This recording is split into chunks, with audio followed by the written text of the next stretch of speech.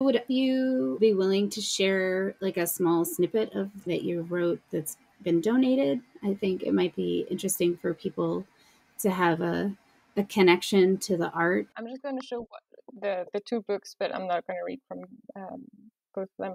I'm donating two, and the first one is called The Flourishing. It's the first in a trilogy of romances that are set in Leicester in the UK. And you can read them all as standalones because they each follow a different couple, but the people know each other, so you'll find little connections uh, in between the books if you do read all three. And the one I'm gonna read from uh, is called Dandelion, and it's uh, actually getting released uh, in two days. I just realized I wasn't, I'm not ready. And it's a historical romance. It's a second chance romance, and it's dual timelines. So it's mainly set in the 70s in the US, and it's about two men who meet again by chance in their 50s. And they um, met uh, initially when they were uh, teenagers and they used to be friends and lovers, and then they fell out. This is uh, about them reconnecting. And uh, the bit I'm going to read is uh, actually uh, one of the flashbacks from their youth. No, no, keep your shoes on, Bobby instructed, laughing at Bill's confused frown. He went to crouch in front of his bed and pulled at the shoebox he kept hidden underneath, pulling a few dust bunnies with it when it slid into view.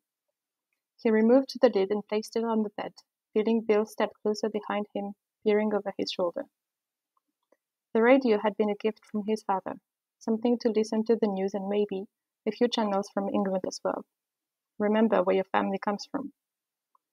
Bobby couldn't give a damn about England, where his dad had never bothered taking him before he decided to fuck, off back to it on his own.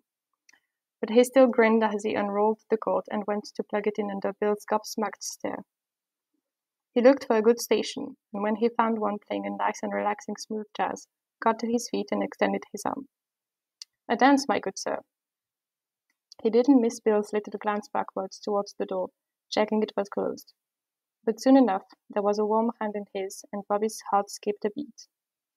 He pulled Bill closer and slowly brought a palm to rest over his waist, giving him time to move back just in case.